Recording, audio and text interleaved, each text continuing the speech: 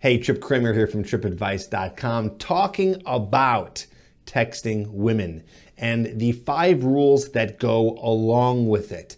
So I want you to pay attention. I know I recently put out a video called Why You Shouldn't Be Texting Girls. And don't worry, this video completely complements that and goes along with everything that I said in that video, nothing contradictory. So, really, texting is going to be used for very specific ways and also in terms of when you're texting, there's specific rules in terms of how you're going to do that. So, we're going to be going over all that on today's video. Texting is really important to learn right now just because you are probably doing it a lot with women. I mean, this is one of the major ways of communicating. So if you learn how to do it properly, you have a higher chance of being able to get women interested in you and actually get to the point where you're meeting up with them and on a date, of course, when that is possible.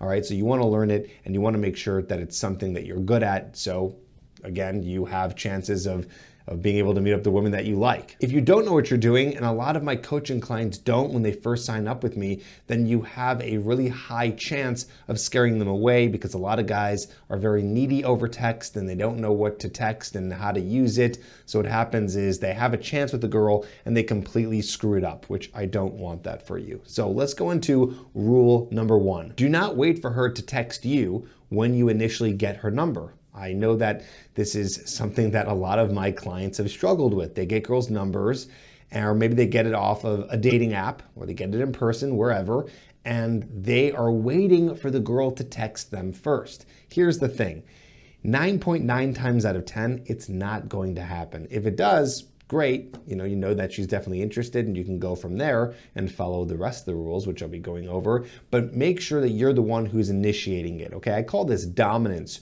or leading the interaction, which I go over in my Hooked program a bunch, which is you taking control of what's going on with the relationship, so to speak, and moving it forward. So you're the one who's in control. So you need to be the one to text her first. Do not wait for her to do that, especially when it's you getting her number and this is the initial text. You have to be the one to do it first. Okay, next. Number two, which is really the number one rule, but there's no specific order to these five rules. But this is just one of the most important ones.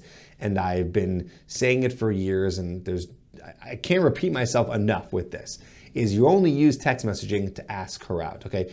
Now, yes, once in a while, you know, you might be texting with a girl on a dating app, but that's not what I'm talking about here. I'm not talking about texting on a dating app. That's different. A dating app texting, that's you guys actually getting to know each other. That's almost equivalent to the initial interaction as if you were going over and approaching her somewhere. So what I'm talking about is texting her when you guys are actually, you know, texting each other because you got her number. You got to make sure that you're using texting to meet up. So you're not sitting here having long conversations. Instead, you are asking them out, asking for a time to meet, asking them for a drink or for coffee or to do something.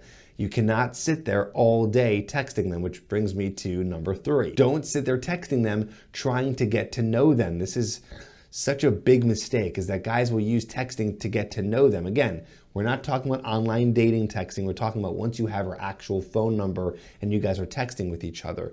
The thing is, is when you're texting and you're trying to get to know them, there's so much room for error. This is why texting sucks, okay? Because there's so much room for error. Yeah, people sometimes use emojis and things like that to offset maybe joking or whatever they're saying, but still, when you're sitting there texting all day, you know what that says? That says to the girl, I'm not busy. I have no life. I'm just going to sit here and text you all day, right? So you don't want to do that. You only want to save texting for, like I said, number two, asking them out. A lot of guys try to build attraction over text, and that just doesn't work because attraction isn't built over text. We are wired biologically to feel attracted to someone when we're in front of them, when we're experiencing them in person and in you know, real life, IRL here, okay? This is not about trying to get to know her and do anything like teasing or or any kind of demonstrations of value or anything like that over text message. Can it work? Yes, it can, but it's not the road you want to go down. If anything, hopefully they've already been interested in you, so asking them out shouldn't be a problem. Again, rule number two, right? Asking them out shouldn't be a problem. So then you can meet up with them and then you can build attraction and investment when you're with them in person. Here's another one, and I recently told a coaching client this is do not, do not be sending too many emojis, okay? I know, and uh, it's interesting. I heard a recent comment in in a recent video that said like, uh, "What are these games? I should be able to use emojis. It shouldn't be a big deal. Why are you teaching people to be things other than themselves?" Like, listen, we're we're trying to be our best selves. We're always going to be changing, evolving, upgrading to be our best selves.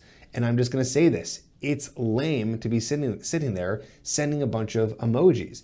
It's just lame. It's just not cool it's kind of weird. It's kind of strange, right? And of course, I'm going to give you all the tips I can to make you so you're cooler and not lame.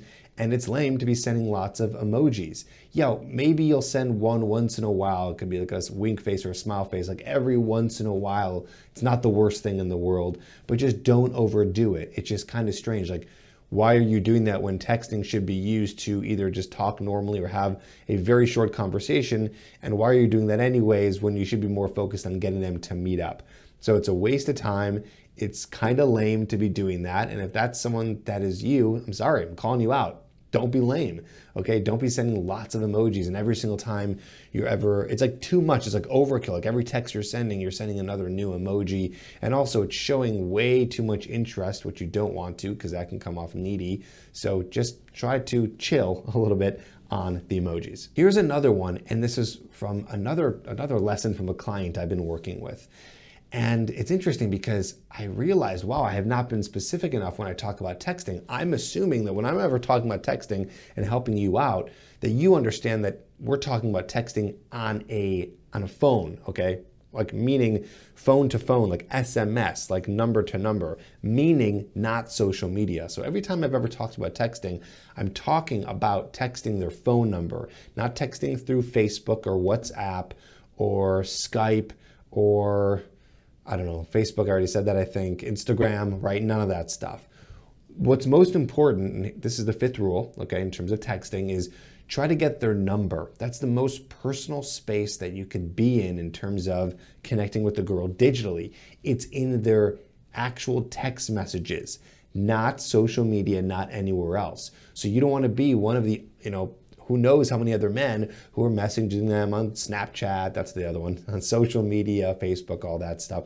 Instead, get to their actual texting. Now, I, am to say, I did say WhatsApp earlier. I know that is more about texting. Uh, you know, and sometimes you have to WhatsApp because you have different phone numbers from different countries, but it's still re- really rare. So try still as much as you can to get into the regular text messages so they see it, so they're there. So it almost kind of makes you more of a personal friend, at least for now, because you guys are not, you know, more than that at this point. So make sure that whatever you're doing in terms of texting, always move it to phone number. So I talk about this in my Hooked program, right? Dominance, right? Always leading the interaction and moving it forward. Well, you want to make sure you're moving it forward from wherever you met them online or maybe maybe social media.